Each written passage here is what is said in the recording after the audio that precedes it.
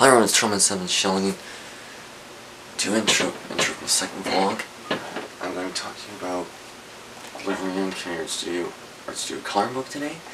And I'll be showing you showing you a page in it of my original artworks right now. And I'll be showing you two other pieces that I worked on in the past, like 2013, 2015.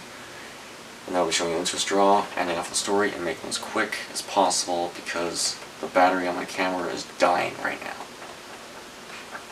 My little brother's trying to go to sleep. Come on, battery's dying. Here it is. It's one funk I worked really hard on. It's a piece I was very passionate about, working on for four days straight. It contributed to the project.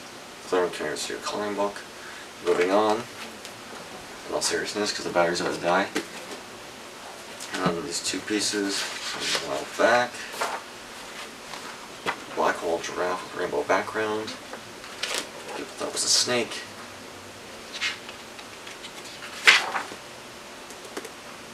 Dragon with a semis background. People, a lot of people liked it over the years. I sold them as postcards at one point, and so forth, and so forth.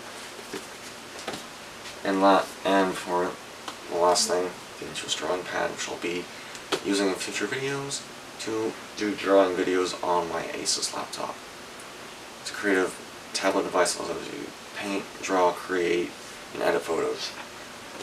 Moving on to the last thing is a story about someone who scammed me.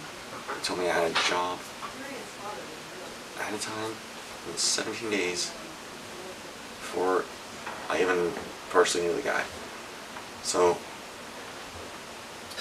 he made me buy things for four, pay for things for four days, like include lunches, cab fare, and lawyer insurance.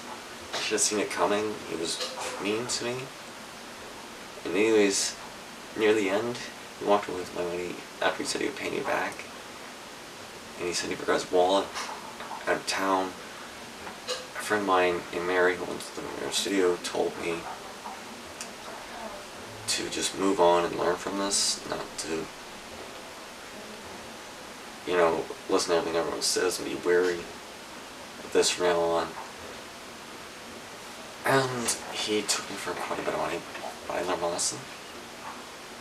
He did direct my some of my designs. He took me to coffee shops, and for this awful combination of iced coffee combined with hot chocolate milk. And I'm still torn on that. That happened like June 2016, July, between June and July 2016.